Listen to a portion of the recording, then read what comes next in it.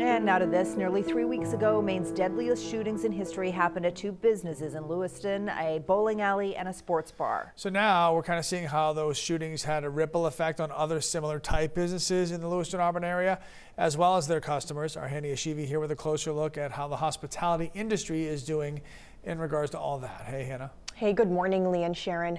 Many people are still trying to process that pain, and some are doing it by visiting the restaurants and bars in Lewiston, Auburn that they used to frequent, turning to each other to find strength after tragedy. Are we doing vodka? Are we doing whiskey? What do you feel like? Jackie Bergman keeps the drinks pouring. Uh, so who's the new As general manager at Gritty McDuff's in Auburn. Mm, lemon. I don't. Do you know anything about him? Jackie's asking about a regular she hasn't seen in a while. Time will tell, right? Thank you. You're welcome.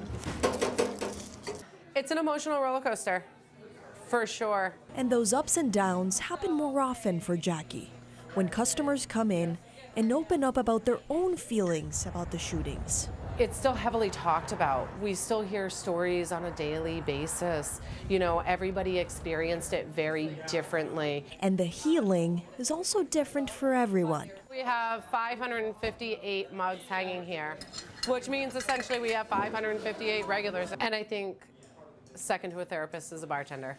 We hear all the highs, all the lows. Whether those conversations happen between multiple people. How is it?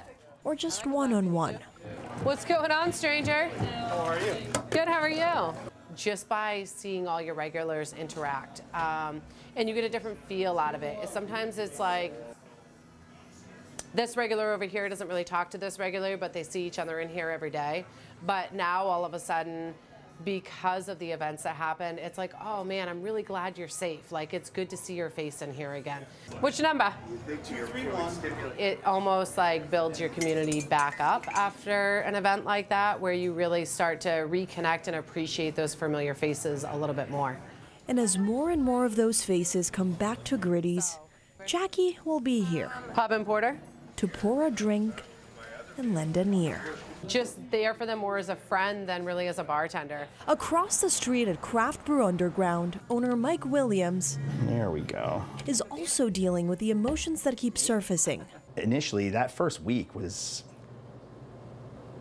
I don't even like really know how to describe it exactly. It was just like strange, odd, weird. I don't know what the appropriate term is for it, but just kind of like walking around in a funk for days afterwards. Then, as more information was released about what happened and who the victims were, it all hit home. Especially when names started coming out, because this community is not that big. So there was, eh, for almost everybody around here, they were going to know somebody that was either killed or hurt.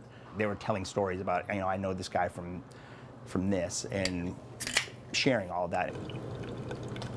There you go. Thank you. Welcome. The shootings also prompted Mike to make one subtle change at the bar. Should we do something so that we can see what's going on on the staircase? Because this place is, you know, you're kind of operating on the faith that everyone coming down is a good person.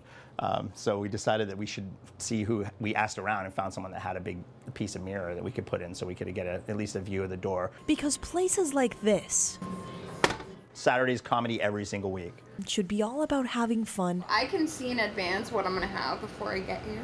And being with friends. I felt like, in the very least, these guys would want to come out and be together. Um, these are all people that, when, you know, good, bad, or whatever's going on in their lives, they come here and they're together. One thing is true for Jackie and Mike. Living and working in the Lewiston Auburn area has been and will continue to be their constant. And supporting anyone who walks through their doors, whether they're celebrating or they're mourning. Hannah Yeshivi, News Center, Maine. Lee and Sharon. All right, thank you, Hannah.